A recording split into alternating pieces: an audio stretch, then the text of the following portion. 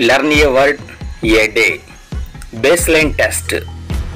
నిర్వహించడానికి పలు సూచనలు ఆర్సీ నంబర్ ద్వారా ప్రభుత్వం రిలీజ్ చేయడం జరిగింది. ఆ విషయాలు తెలుసుకుందాం.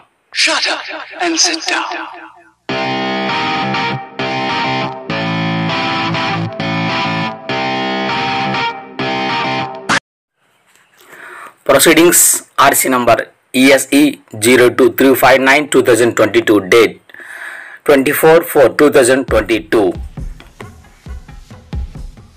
ఈ ఆర్సీ ప్రకారం ఒకటి నుండి తొమ్మిది తరగతులకు మే ఐదవ తేదీన learn a word a day baseline test అన్ని ప్రభుత్వ ప్రైవేట్ పాఠశాలలో నిర్వహించబడుతుంది. ప్రశ్నపత్రం పరీక్ష రోజు ఉదయం జిల్లా విద్యా శాఖాధికారుల ద్వారా ప్రధానోపాధ్యాయులకు వాట్సాప్ ద్వారా అందించబడుతుంది. ఆ వాట్సాప్లో ఉన్నటువంటి ప్రశ్నపత్రాన్ని నిర్వహించవలసి ఉంటుంది. Learn a word a day కార్యక్రమంలో ఇవ్వబడిన పదాల మీద మాత్రమే ఈ పరీక్ష నిర్వహించబడుతుంది.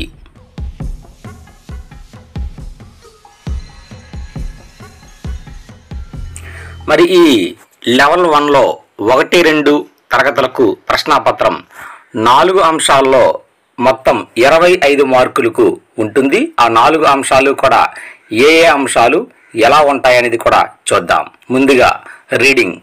ఇచ్చిన ఐదు పదాలను విద్యార్థి చదవగలగాలి. ద చదివితే ఐదు మార్కులు కేటాయించడం జరుగుతుంది.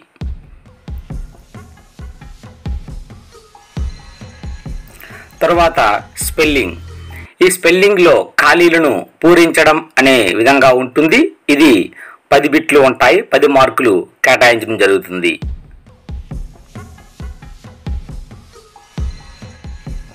తరువాత మీనింగ్స్.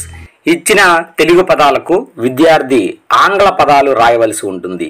ఈ విధంగా ఇది కూడా ఐదు మార్కులకు కేటాయించడం జరిగింది.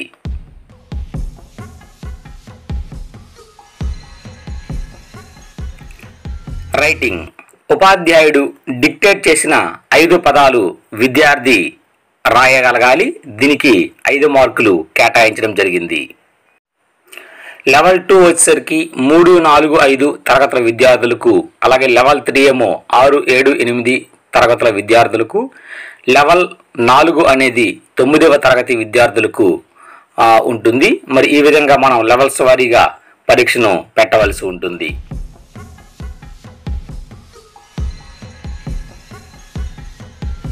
మరి ఈ లెవెల్స్ అందరికీ కూడా ముందుగా సినోనిమ్స్ ఇవ్వబడిన వాక్యాన్ని అర్థవంతమైన పదంతో పూరించడం ఇది ఐదు మార్కులకు ఉంటుంది. ఇందులో మల్టిపుల్ చాయిస్ అంటే బహుళైచ్ఛిక ప్రశ్నలు ఇందులో ఉంటాయి.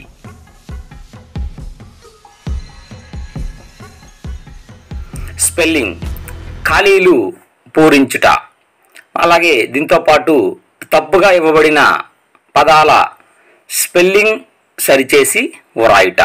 ఇది కూడా మొత్తం పది మార్కులు కేటాయించడం జరుగుతుంది. తర్వాత డిక్షనరీ స్కిల్స్ ఇవ్వబడిన పదాలను ఆల్ఫాబెటికల్ ఆర్డర్లో అమర్చుట. ఇది ఐదు మార్కులు.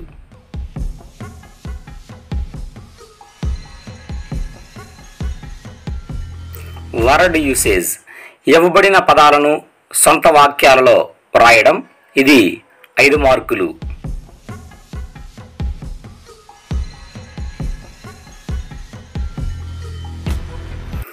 ప్రశ్నపత్రం ప్రతి లెవెల్కి ఆ లెవెల్లో నేర్చుకున్న పదాలపై విడివిడిగా ఉంటుంది.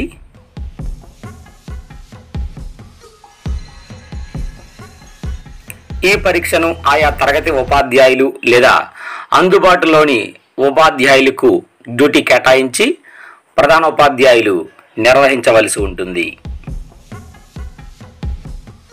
ప్రశ్నపత్రాన్ని బ్లాక్ ఆర్ గ్రీన్ బోర్డు మీద వ్రాయించడం ద్వారా పరీక్ష నిర్వహించవలసి ఉంటుంది. తరగతుల వారీగా మరియు సామర్థ్యాల వారీగా మార్కులను పాఠశాల రిజిస్టర్ మరియు ఆన్లైన్లో మే ఇరవైవ తేదీలోపు తరగతి ఉపాధ్యాయులు నమోదు చేయాలి.